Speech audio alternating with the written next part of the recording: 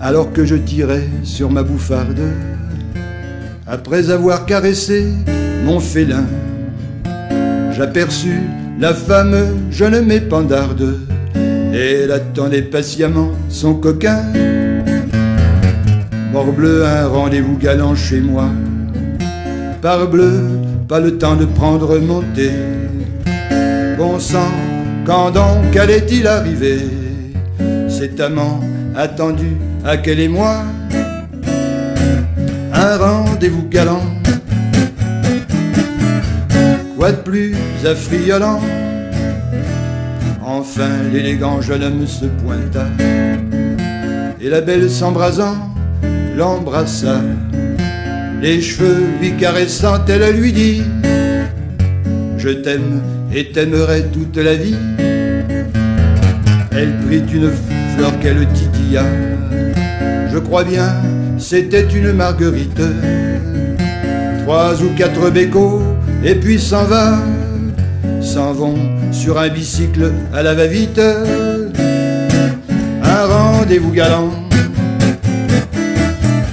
quoi de plus affriolant? L'amour c'est con, rarement c'est pour toujours. Les deux amants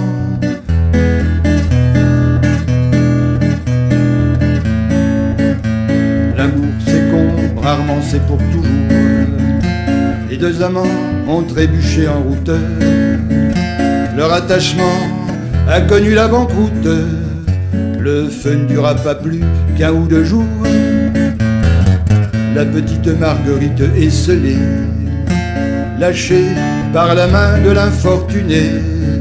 C'est un ours en pluche qui l'a consolée, un gentil nounours qui va la garder.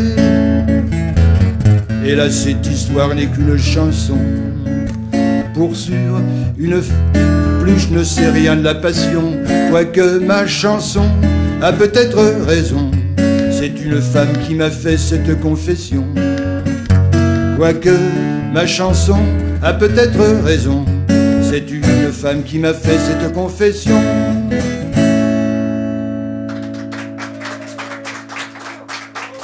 Merci. Alors là, je vais vous faire un. Enfin, c'est un copain qui est, qui est lorrain et néanmoins poète. Ce garçon s'appelle Philippe Mitre.